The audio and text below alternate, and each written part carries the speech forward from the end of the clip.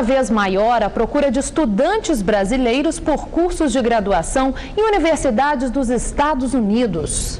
A temporada no exterior pode proporcionar um diferencial na profissão, além de ser uma experiência cultural interessante. Alan tem 23 anos e sempre foi aluno de escolas públicas, mas a faculdade de sociologia foi feita nos Estados Unidos. O sonho de estudar lá fora só foi possível graças a uma bolsa que cobriu todas as despesas, mais de 10 mil reais por mês. Segundo ele, os quatro anos de estudo no exterior foram valiosos.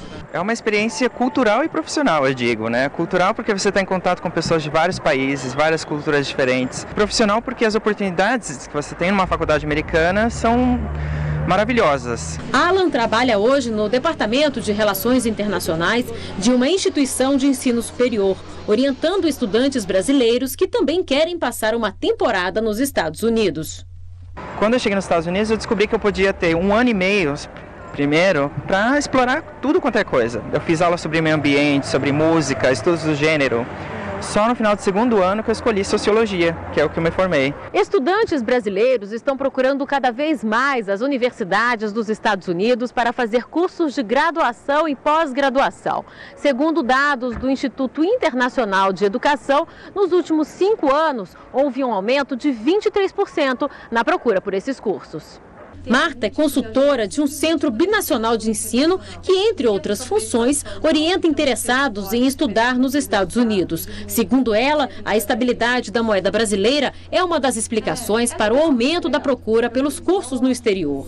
As pessoas estão vendo que uh, entre fazer uma faculdade talvez fora da sua cidade, então arcar com o custo de vida, às vezes pagar a universidade para estudar fora da sua cidade sai mais ou menos a mesma coisa, ou talvez um pouquinho menos que estudar fora do país. Para quem quer embarcar nessa, a dica da consultora é se programar com antecedência. O processo de seleção costuma ser demorado.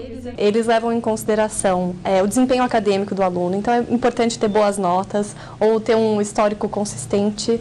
É importante ter um, a proficiência no inglês, então eles pedem 80 pontos no TOEFL, em média, pode ser um pouquinho mais dependendo da universidade cartas de recomendação de professores. Uh, também eles pedem uma relação das atividades extracurriculares. Camila tem 17 anos e vai iniciar em agosto o curso de Relações Internacionais na Universidade da Califórnia, campus de Berkeley. Ela começou a se preparar com dois anos de antecedência. Participou de processos seletivos em oito universidades e foi aprovada em cinco. Estou entusiasmada, muito entusiasmada e um pouco nervosa porque vai mudar completamente meu ritmo de vida, vou ter que aprender a fazer algumas coisas que eu nunca fiz, tipo lavar roupa. Eu também gosto bastante do sistema de você morar no campus, realmente adquirir uma independência maior, é o que mais importa para mim. E atenção interessados em cursar uma faculdade no exterior. Quem se formar lá deverá revalidar o diploma numa das universidades públicas brasileiras que tenha curso igual ou similar reconhecido pelo governo.